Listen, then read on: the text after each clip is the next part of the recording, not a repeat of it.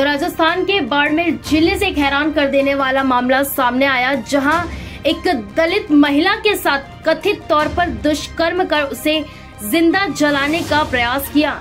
जी हाँ, राजस्थान के बाड़मेर ज़िले से ये हैरान कर देने वाला मामला सामने आया, जहाँ एक दलित महिला के साथ कथित तौर पर बलात्कार किया गया और उसके बाद उसके शरीर को जलाने का प्रयास किया प्रयास किया गया है।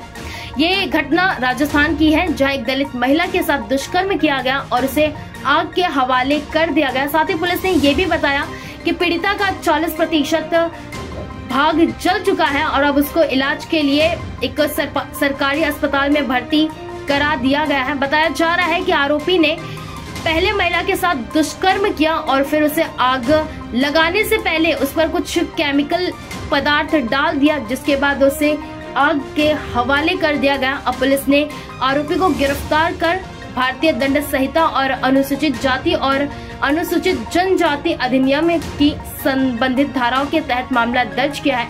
और मामले में आगे की जानकारी जारी है।